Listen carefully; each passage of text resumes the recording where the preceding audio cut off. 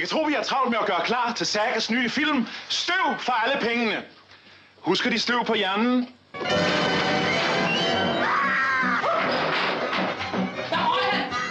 Hvad i alverden er det, de laver?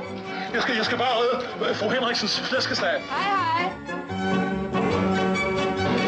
Det går vel nok godt, hva'?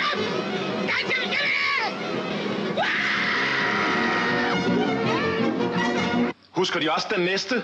Det støver stadig. Så, så, så er vi færdige. Ja, det var flinkt. Kom så, Marcenikken. Skal jeg have arsenik? Er kun i de to tænder, hvor nerverne skal dræbes.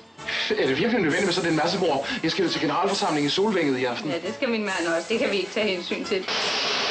Skal ikke heller løbe efter hjælp? Hjælpen! De åbner døren, så ryger vandet ind i de andre kælder! Jo, hvordan skal vi så komme ud? Vi må vente, til vi bliver presset ud igennem vinduerne!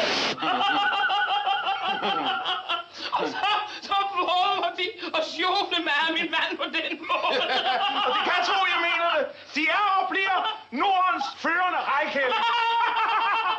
Og nu er det altså, at støv for alle pengene kommer. Denne gang har alle vi københavnere ude fra Solvænget købt en bondegård. de kan tro, der bliver noget at grine af.